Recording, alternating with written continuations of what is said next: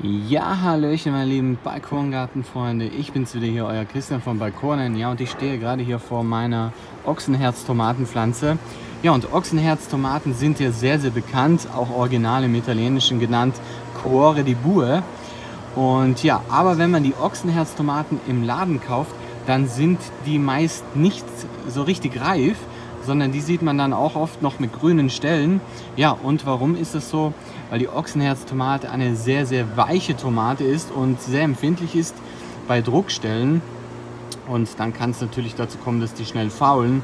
Und das geht natürlich gar nicht, wenn im Supermarkt die halben Ochsenherztomaten dann faul wären. Ja, und aus diesem Grund sind die halt meist dann auch immer, ja, ich sag mal, nicht wirklich reif und vom Geschmack her auch noch nicht so intensiv, wie sie sein sollte. Aber ich habe ja das Glück, ich habe hier Ochsenherztomaten auf dem Balkongarten. Ja, und jetzt werde ich hier mal so eine abernten und diese genüsslich verspeisen und auch gleich mal einen Geschmackstest machen. Habe ich schon länger nicht mehr gegessen, so eine schöne Ochsenherztomate, besonders eine reife. Und ja, so, ich pflück hier mal eine ab. Und Ochsenherz, der Name kommt ja daher, weil die so ähnlich sein sollen wie ein Ochsenherz. Naja, das mag ich bezweifeln. So, jetzt gehen wir aber erstmal probieren.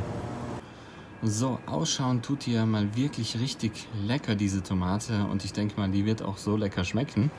Ja, was auch bei der Ochsenherztomate zu sagen ist, die Ochsenherztomate ist sehr, sehr anfällig für die Blütenendfäule. Und bei der Blütenendfäule, ja, da kommt es eben zu einer Fäule hier unten dran an der Tomate und ja, dann fault die von unten her. Und das kommt meistens eben dadurch, wenn man die Tomatenpflanze nicht richtig äh, gießt.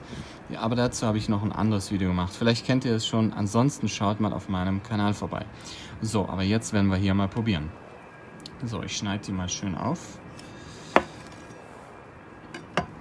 Hm, die sieht schon mal sehr schön aus. Hat auch einige Kerne hier, wie man sehen kann. Jetzt schneide ich mal hier das Grüne noch ab. Mhm. Jetzt beiße ich hier mal genüsslich rein. Mm, also wirklich, wirklich sehr, sehr lecker. Ja, man kann wirklich sagen, die Ochsenherztomate ist auch die Königin unter den Tomaten, meiner Meinung nach, weil sie halt geschmacklich so sehr intensiv ist und ja wirklich aromatisch hier ja, die Königin darstellen kann.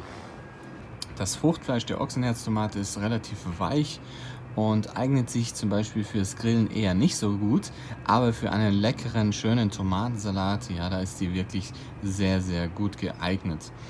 Ja, und vom Geschmacklichen her noch ist die so in der Mitte zwischen säuerlich und süß, aber halt sehr, sehr tomatig und von daher ist sie wirklich eine Tomatensorte, die ich nur jedem empfehlen kann, äh, die man sich kaufen sollte. Aber wenn man reife Ochsenherztomaten möchte, dann muss man sie sich wohl wahrscheinlich selbst anbauen.